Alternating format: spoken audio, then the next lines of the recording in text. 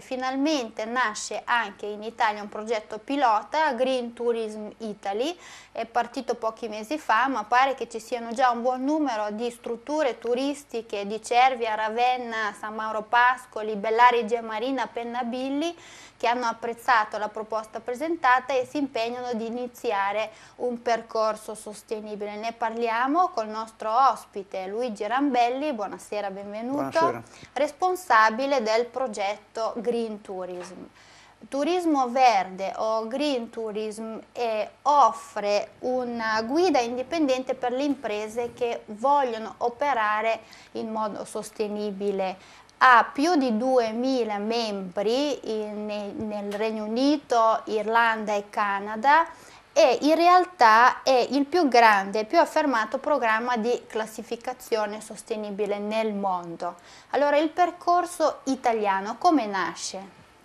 Nasce da una richiesta dei eh, dirigenti responsabili che hanno messo in piedi, sono stati fondatori di Green Tourism eh, partendo da Perth in Scozia, quindi da una zona che turisticamente ha le sue ragioni d'essere, le sue qualità, che noi conoscevamo già, eh, loro in parte conoscevano, loro conoscevano anche le nostre esperienze, la nostra eh, attività eh, svolta nel passato e ci hanno chiesto la disponibilità a partire con un progetto pilota in Italia.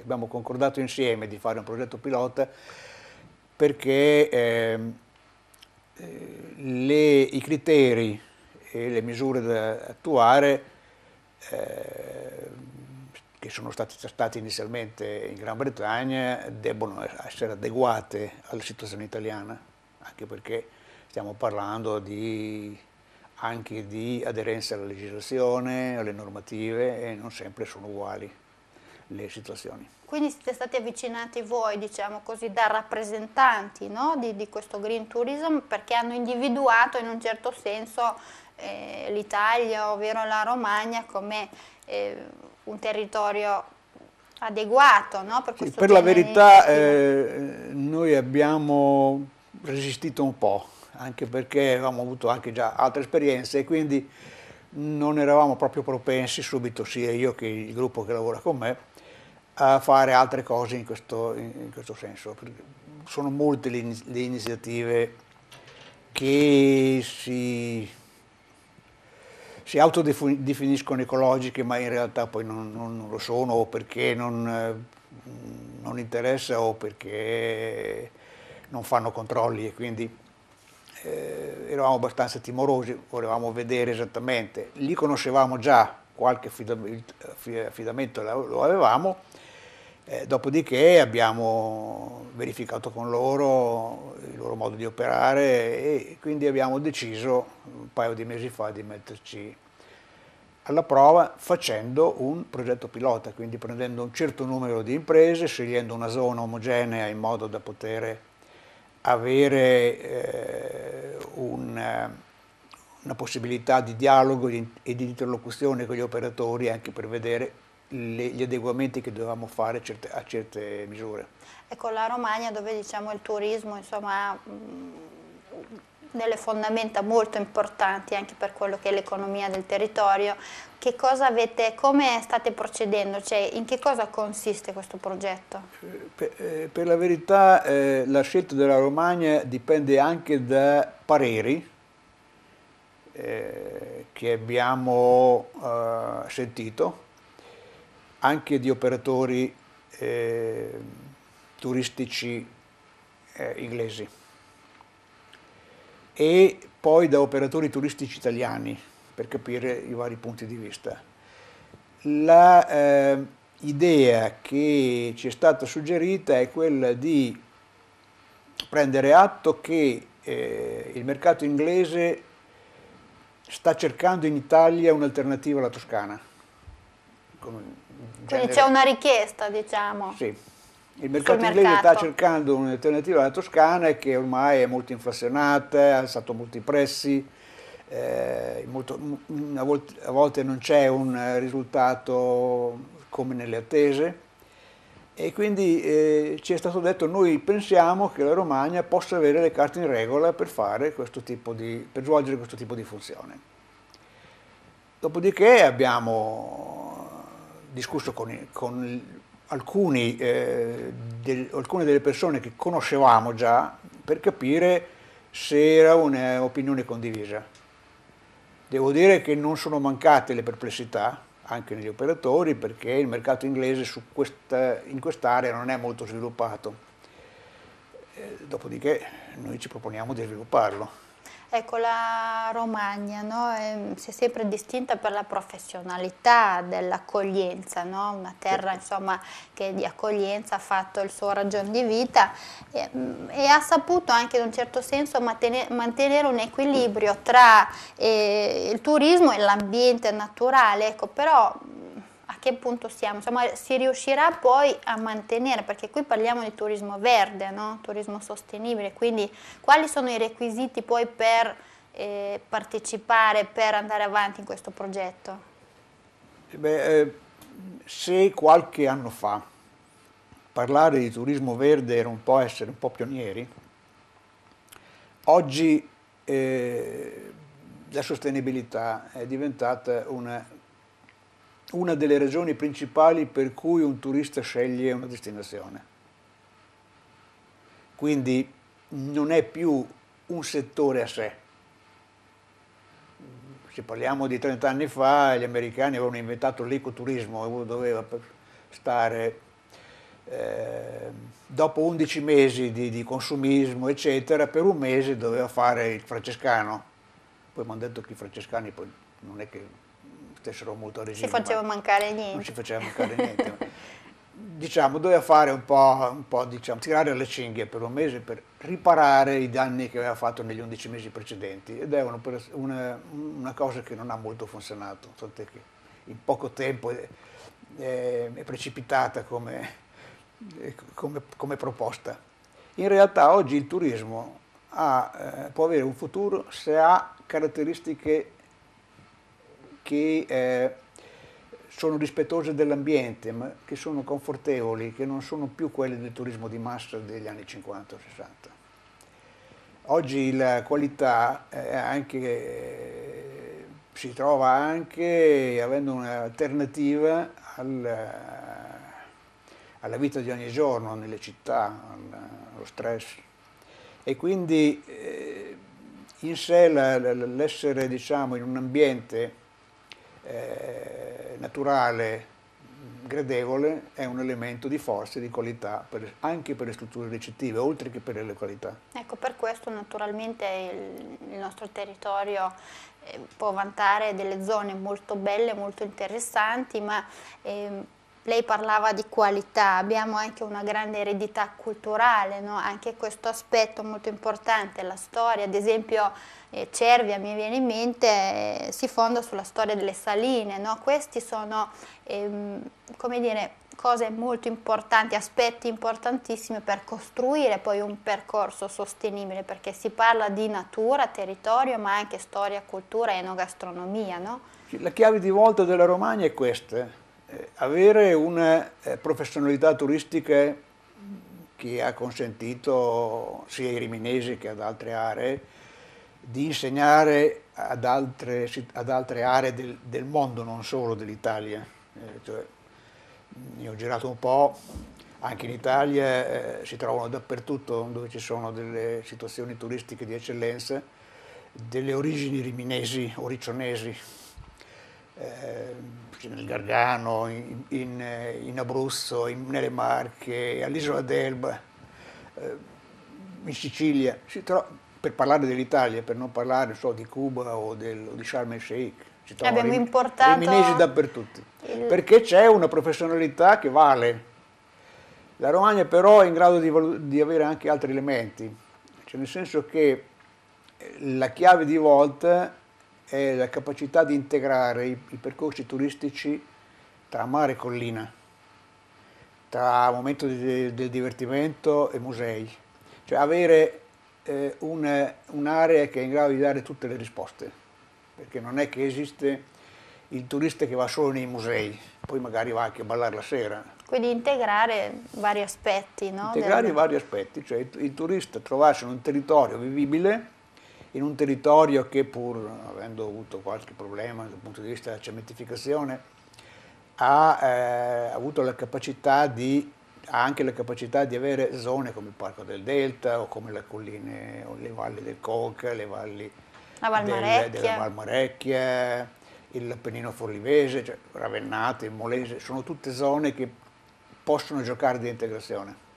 Ecco, questo percorso, no? ci sono varie strutture, adesso lei ci dirà poi quante di queste strutture hanno aderito, in che cosa consiste? C'è, eh, se non mi sbaglio, questo green eh, tourism è un modo di certificare, no? è un modo è una certificazione per le imprese turistiche, quindi ogni impresa in un certo senso si deve impegnare ad intraprendere un percorso di sostenibilità eh, l'operazione viene fatta in questo modo.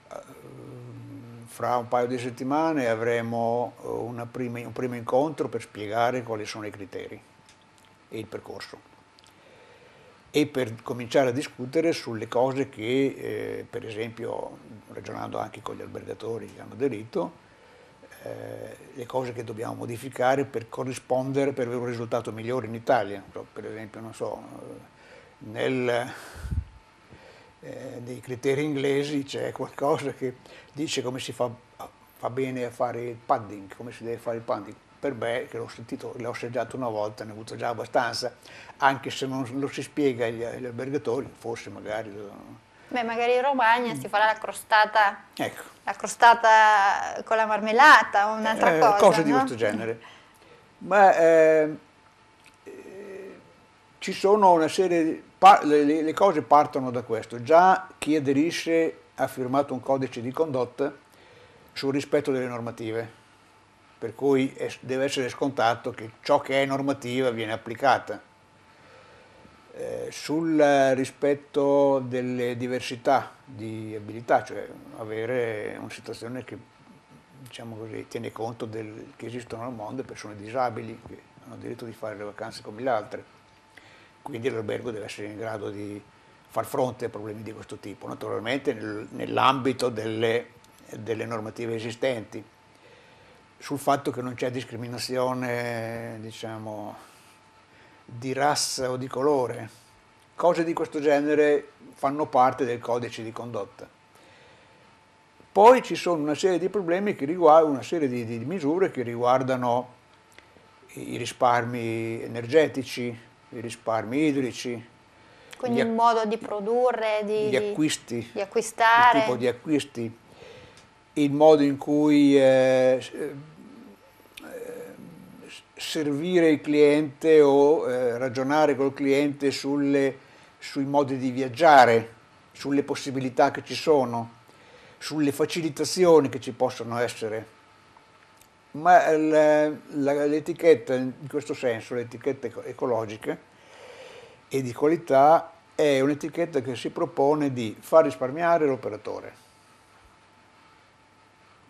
mm, sia con mm, azioni di gestione, ma anche con azioni di ristrutturazione e nell'ambito di una serie di misure per ognuna delle ci sono 10 sezioni di, di, di, cose da fare nell'ambito di queste 10 sezioni ci sono una serie di misure eh, delle quali un operatore può farne 5, 6, 7 scegliendo lui magari quelli che già sta facendo per metterle in, luce, per, per valorizzarle, nel mio albergo queste cose qui le facciamo già e sulla base di questo gli si dà un punteggio.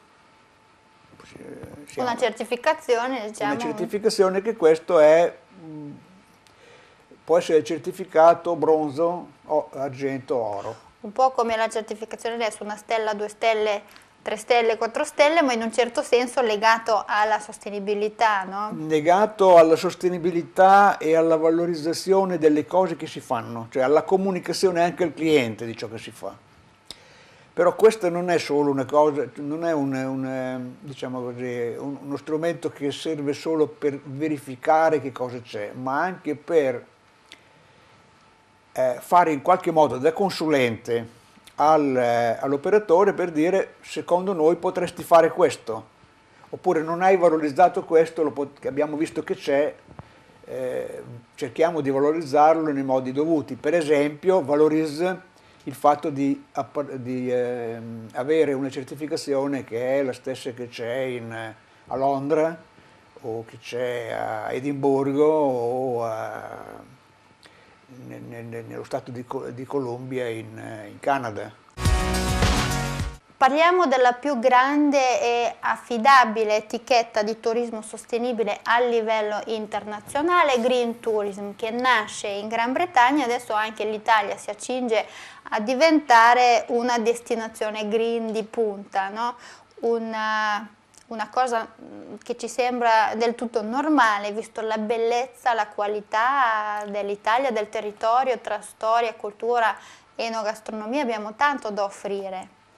Lei diceva prima, ehm, il progetto è partito da pochi mesi, quindi i risultati ci vorrà un po' di tempo per vederli.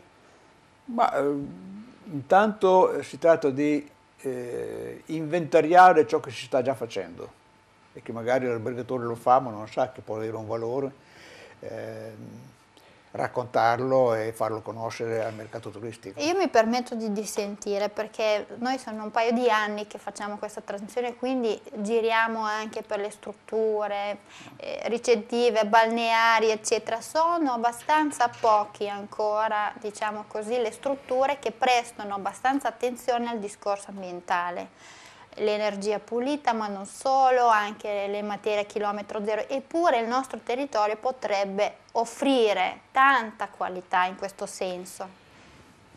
Che siano ancora poche è fuori discussione, per noi sono sempre poche.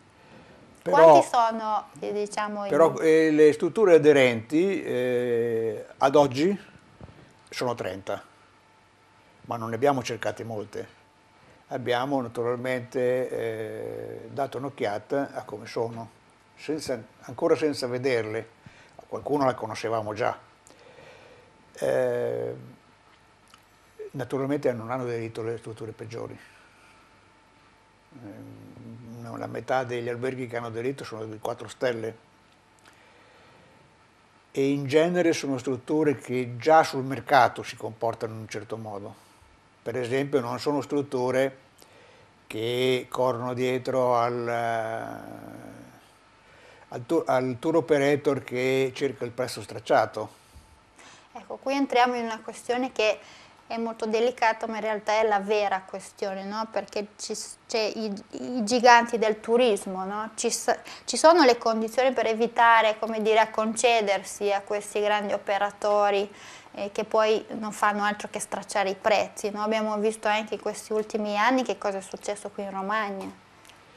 Eh sì, eh, questo è vero, perché se partiamo per esempio dal, diciamo così, dal rapporto con le, le, le cosiddette agenzie online, cioè quelli che tu clicchi e prenoti, eh, naturalmente non gratis se parliamo delle false promozioni, delle false recensioni, se parliamo delle percentuali richieste per poter piazzare sul mercato il tuo prodotto, è chiaro che questa operazione qui è molto simile a quella degli ipermercati. Potremmo parlare degli online come ipermercati del turismo. Questi cercano di avere il prezzo più basso da parte degli operatori turistici veri, dai, da parte degli alberghi, dei campeggi, per poi rivenderli al prezzo più alto al cliente. Però ecco, diciamo che le imprese turistiche che aderiscono a questo genere di offerte poi alla fine perdono anche ehm, l'autonomia, perché no, dipendono in un certo senso, come giustamente l'esempio che lei ha dato benissimo, l'ipermercato, certo. la grande distribuzione, eh, per un territorio come il nostro, dove l'economia dipende eh, moltissimo dal turismo. Che cosa bisogna fare? Beh, devo dire che i segnali di una marcia indietro ci sono. Cioè, ci sono eh, albergatori che preferiscono avere 5 stanze vuote piuttosto che eh, avere l'albergo pieno a un prezzo della metà. o del, pagare il 30% di, diciamo, di, di tangente al, all'agenzia. Ma questi segnali ci sono anche nel commercio. Certo, però ecco, diciamo, in questo senso io intravedo un'opportunità perché la green economy o la sostenibilità eh, vuol dire anche più qualità nel servizio, vuol dire un certo tipo di servizio che comprende, non so, percorsi naturalistici piuttosto che eh, un'offerta diversa e quindi questo potrebbe essere anche una chiave di svolta per il nostro, per il nostro turismo, orientarsi verso Beh, questo modo di, di operare. Io ho visto negli anni diverse eh, diciamo, ricerche di mercato oppure i monitoraggi fatti dalla Banca d'Italia o dal, o dal um, DOCS alle frontiere eh, chiedendo ai turisti cosa, per quale ragione erano venuti in Italia, cosa che si può trovare anche nelle agenzie di viaggi all'estero, chiedendo ma perché chi sceglie l'Italia sceglie l'Italia? La risposta è, è bella, e eh, c'è un bel paesaggio, un buon ambiente. Ci siamo dati un po' da fare a distruggerlo, ma non ci siamo riusciti, è ancora bella. Monumenti, patrimonio culturale di prima grandezza, eh, che è indiscutibile, indiscutibile.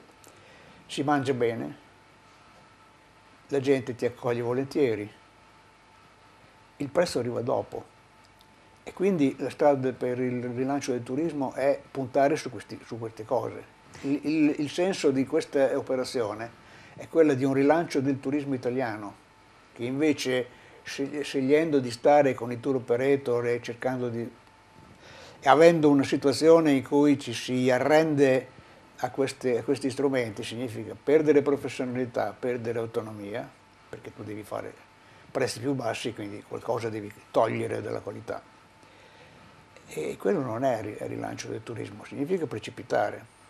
Ecco, lei diceva prima della pausa che tra gli obiettivi del progetto pilota eh, c'è anche quello di testare e adeguare gli standard eh, britannici no? per il sì. mercato italiano. Certo,